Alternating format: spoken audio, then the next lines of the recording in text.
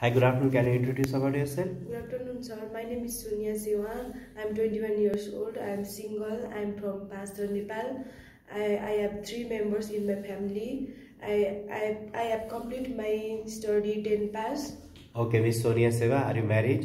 No, sir. Are you physically fit? Yes, sir. Are you ready to work hard? Yes, sir. Okay, do you have any work experience? Yeah, yeah. I have uh, work uh, two years work experience in sales sales goal in Kathmandu.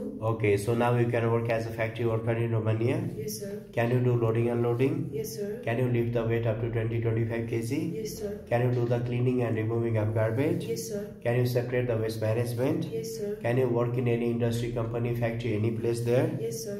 Also, can you work in any weather, climate, inside or outside there? Yes, sir. Okay, are you comfortable working long hours duty, maybe 10 to 12 hours when required? Yes, sir. Okay, would you like to stay there for long time? Yes, sir.